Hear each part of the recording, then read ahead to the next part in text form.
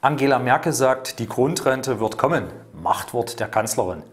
Mein Name ist Peter Knöppel, ich bin Rechtsanwalt und Rentenberater von Rentenbescheid24.de. Das Gezerre um die Grundrente muss nun endlich mal ein Ende haben. Der Kanzlerin reicht es wahrscheinlich auch. Störfeuer aus vielen Seiten, vor allen Dingen aus der eigenen Partei zur Grundrente. Der aktuelle Gesetzesentwurf vom 16. Januar 2020 ist ja nun äh, auch da und wird natürlich mit vernichtender Kritik überhäuft.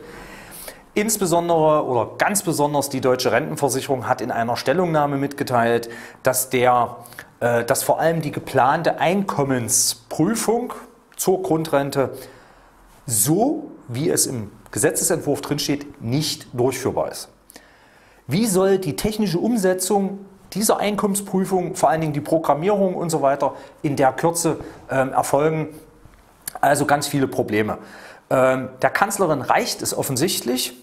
Der Grundrentenentwurf wird nochmals überarbeitet, die offenen Fragen zur Einkommensanrechnung geklärt. Vor allen Dingen geht es um den Abgleich von Kapitaleinkünften aus dem In- und Ausland.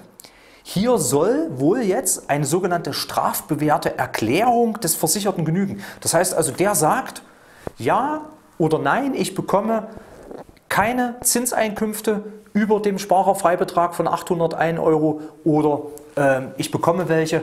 Ansonsten wird es dann so sein, dass die deutsche Rentenversicherung hier Stichproben machen soll. Und wenn die dann dahinter kommt, dass der Versicherte, der Grundrentenempfänger hier äh, fehlerhafte Angaben gemacht hat oder irgendwas verschwiegen hat, gibt es dann halt eben ein Strafverfahren, strafbewährte Erklärung. Ne?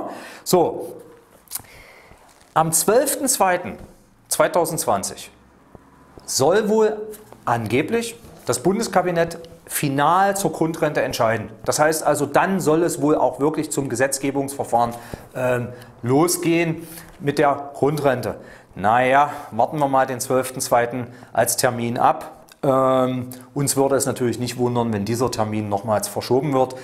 Aber aufgepasst, liebe Regierung, das Gesetzgebungsverfahren muss jetzt langsam losgehen, damit die Grundrente zum 1. Januar 2021 dann auch wirklich pünktlich starten kann. Näheres zum Thema Grundrente finden Sie auf www.rentenbescheid24.de. Ich wünsche Ihnen eine rentenstarke Woche. Ihr Rechtsanwalt und Rentenberater Peter Knöppel.